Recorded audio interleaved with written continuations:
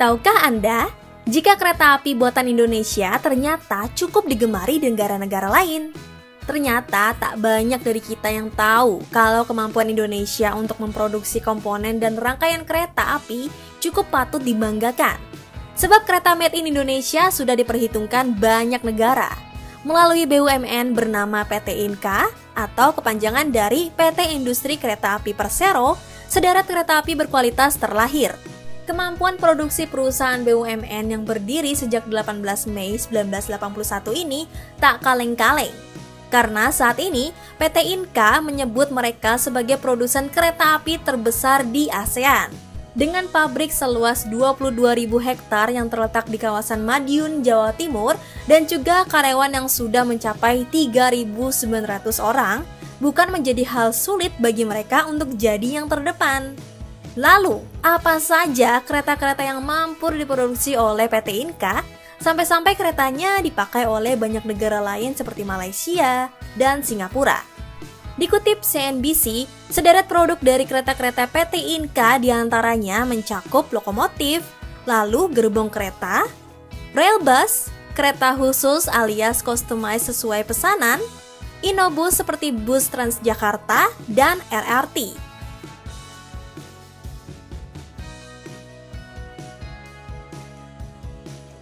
Pelanggan luar negeri. Untuk LRT sendiri saat ini ada 8 rangkaian kereta yang sudah dipakai untuk LRT Palembang dan 31 rangkaian kereta LRT yang akan dipakai untuk kawasan Jabodetabek yang bakal rampung sebentar lagi. Berdasarkan dokumen paparan kinerja PT Inka yang dikutip redaksi, produk-produk BUMN yang satu ini ternyata memang lebih terkenal di luar negeri ketimbang di dalam negeri. Catatan mengungkap kereta buatan PT Inka sudah dipesan beberapa negeri seperti Malaysia pada tahun 1991 berupa freight wagon dan flat wagon di 2002 lalu. Thailand juga menjadi salah satu negara langganan PT Inka. Setidaknya sudah dua dekade belakangan mereka kerap menggunakan kereta dari PT Inka. Dari catatan ada 1996 Thailand mengimpor sebanyak 70 ballast hopper wagon dari PT Inka lalu berlanjut di tahun 2000 dengan 20 ballast hopper wagon lagi. Singapura juga menjadi salah satu negara langganan kereta buatan PT Inka. Pada 2009, Singapura pernah melakukan impor 20 flat wagon dari PT Inka. Berlanjut pada Bangladesh yang mengimpor sebanyak 50 broad gauge, lalu 100 meter gauge carriage di tahun 2005. Repeat order kembali dilakukan Bangladesh pada 2017 dengan memesan 50 broad gauge serta 200 meter gauge carriage kepada PT Inka. Namun kecermelangan PT Inka di kancah dunia belum menular di dalam negeri, sebab jika melihat fakta ini sangat disayangkan.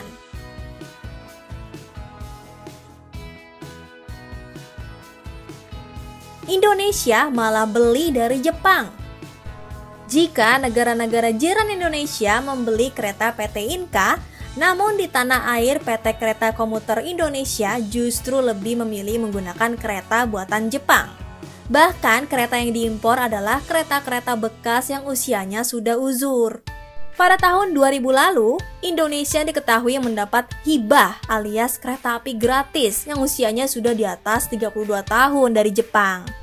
Kereta ini kemudian digunakan KCI hingga 2016, alias dipakai sampai 16 tahun lamanya. Lalu pada September 2016, seluruh kereta hibah ini dipensiunkan. Kendati tak lagi mendapat hibah, KCI justru membeli kereta bekas yaitu lagi-lagi dari Jepang, yaitu 100 unit kereta api. Inilah yang kemudian menjadi pertanyaan, mengapa impor ketika di dalam negeri sudah memiliki kemampuan produksinya cukup membanggakan? Merespon atas hal ini, Direktur PT Inka Budi Nuviantoro mengatakan bahwa kereta impor dari Jepang ini tidak bisa dibanding-bandingkan dengan kereta buatan PT Inka. Alasan utamanya adalah KCI mengimpor kereta dari Jepang karena terkait dengan harga. Sekedar diketahui, kereta yang diimpor dari Jepang berstatus kereta bekas yang harga belinya pasti jauh lebih murah ketimbang kereta baru. Sebagai perbandingan untuk mendatangkan kereta bekas dari Jepang, KCI hanya membutuhkan biaya sekitar 2 miliar. Sementara harga kereta baru yang dijual PT Inka adalah 18 miliar. Inilah yang menjadi permasalahan dan juga polemik meskipun industri dalam negeri ini dapat mensuplai.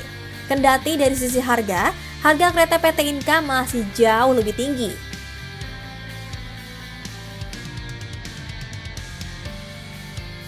Mampu bersaing Direktur Utama PT Industri Kereta Api atau INKA, Budi Noviantoro mengklaim pihaknya mampu memproduksi kereta api yang lebih murah dari kompetitor terberat, yakni Cina.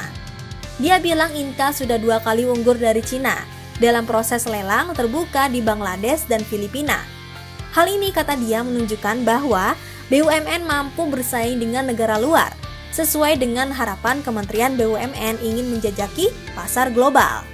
Budi menyebut pihaknya telah membentuk Indonesia Incorporate Mini antara Inka, PT KAI, PT Waskita Karya, PT Land Industri, dan PT Timah untuk menggarap proyek di benua Afrika. Dia bilang pihaknya telah menerima tiga proyek pembangunan lintas negara di benua Afrika yang membutuhkan waktu pengerjaan selama 30 tahun.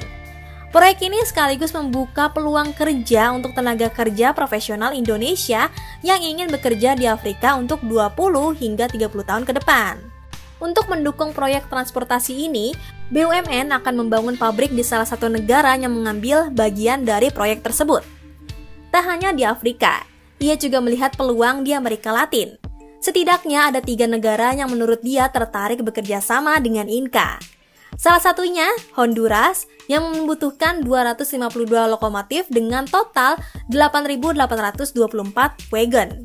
Lalu ada Ekuador yang membutuhkan 68 lokomotif dengan total 1020 wagon dan Uruguay dengan permintaan 2 lokomotif dan 40 wagon.